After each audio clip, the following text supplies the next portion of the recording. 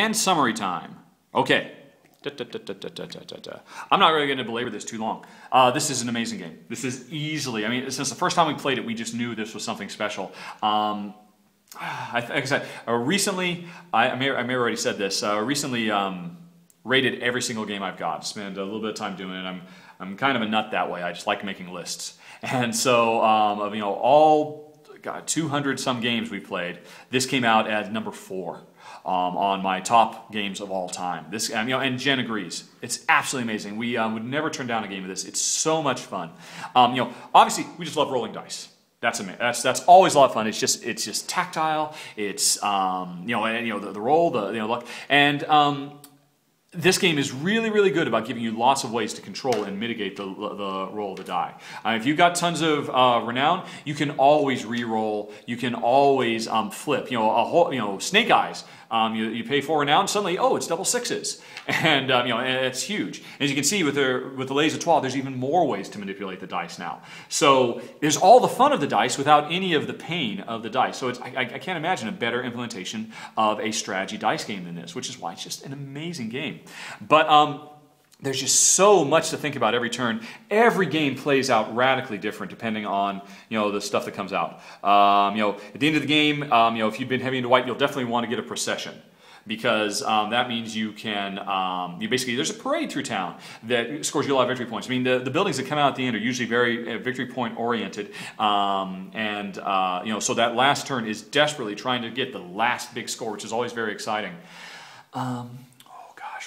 You know, the, um, the struggles to push in and out and, you know, maintain control of these buildings and therefore control the dice is always very um, antsy the oh god please don't buy my red six. Please don't oh you bought my red six. Yay i got two bucks or four bucks um, or eight bucks. Um, but i really needed that red six but i can buy back from you you know the the back and forth of that. I mean this game just plays amazingly two player i've never played it with more than two. I would love to try it sometime with more because um, of course you get fewer dice and so there's even more interaction with everybody else as you're buying more dice from everybody. Uh, Les Etoiles which is what this video is really all about is an amazing addition. I, I can't recommend it enough. Um, you know these these things um, you know, there are eight in total, I believe. Uh, you know, and, and, so you get a, a unique uh, layout every time. Give you a lot more things. Uh, it's um, the purple dice are absolutely wonderful.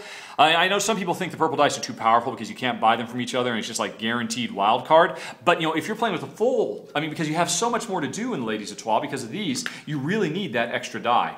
Um, so I, I, think it's it's a net win. You know, probably, and this is true for both the Les Etoiles and this regular Etoile, the thing that we love most about this game that's absolutely amazing is just how thematically strong it is. How all these cards you can do just make perfect sense. Of course, going on a hunt gets you, um, you know, more renown and influence because everybody's impressed by, you know, the massive kills you make. What a waste of military. You could be out there fighting the Normans and the skirmishers and the marauders, but instead, um, you know, you, you, you impress everybody, the fickle townsfolk, with your amazing kills. Or at least you impress yourself. And isn't that what renown is all about. Um, you know, and the, the different ways you can make money, so clever, so much fun. Can't recommend this game enough. Easily, just amazing. I can't think of a reason not to love this game. I'd love to hear it if anybody has any particular reason they don't love this game with all their heart and soul. Um, and that's it. That's going to be wrapping up Troyes. I uh, hope you guys enjoyed this. It was useful to somebody. Um, look forward to my next video soon, or actually not soon, because I'm going to be going on the road for a couple of weeks, so I won't be back for a while. Um, but in the meantime, everybody uh, have a good time and try to play some Troyes. You won't regret it.